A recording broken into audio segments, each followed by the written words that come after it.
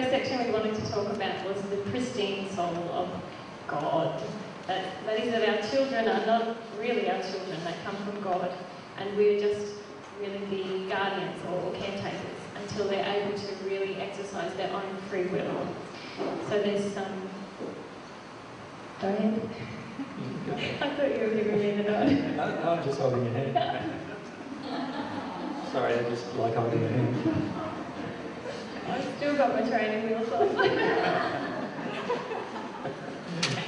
yeah, I lost my track. Yeah, she's, she's so influenced by me, she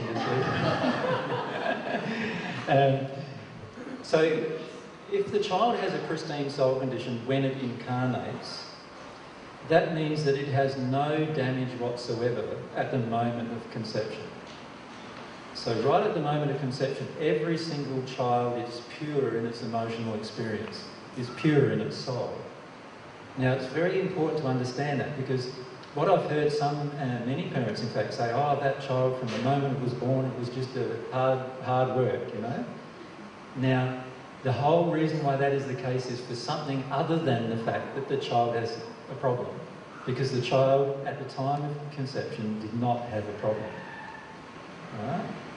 That being, being the case, the only place that the child's problems can come from is its environment. And the most, the biggest influence in its environment is mum and dad. So that's where we need to start looking. If we, if our child from the time of birth is having different issues, even if they're physical issues like sicknesses and diseases, we need to look at our own emotions because there is something in it emotionally for us.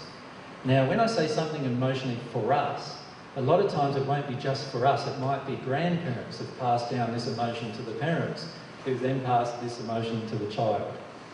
So bear in mind it's just something that we need to clear away from ourselves rather than looking at it from a point of view of judgment. I want to try to keep you away from judgment today, right? because many of you are going to be tempted to get into it today.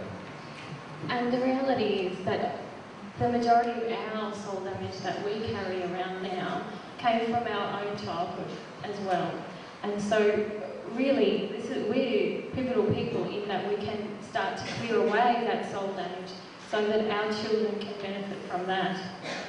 And it's, it's a multi generational issue. So, it's quite an empowering place that we're in at the